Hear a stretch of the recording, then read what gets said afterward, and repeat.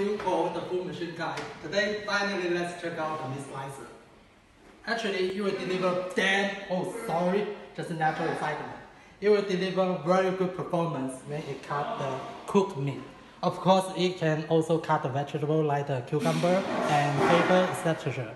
Okay, let's check out the controlling panel. The conveyor button, the knife button, the speed button. Don, follow me, the full machine guide.